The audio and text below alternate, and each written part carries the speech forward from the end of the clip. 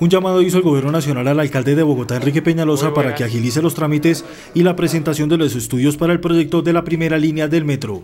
De acuerdo con el Ministerio de Hacienda, la firma del convenio interadministrativo tendrá que darse antes del 11 de noviembre, cuando inicia la ley de garantías, periodo en el cual no se puede hacer contratación pública.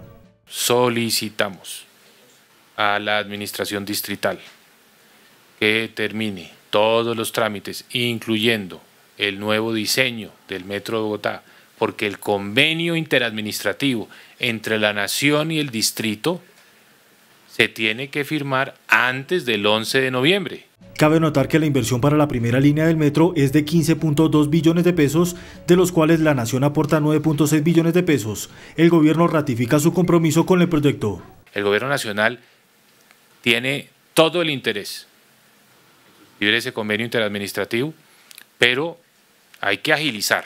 El llamado fue hecho por el funcionario en el marco de la presentación del presupuesto general de la Nación, que tiene un monto de 235 billones de pesos, que representan un leve incremento de 1% frente a la actual vigencia. Se tendrá un ajuste en materia de inversión con una disminución de 5.5 billones de pesos para el próximo año.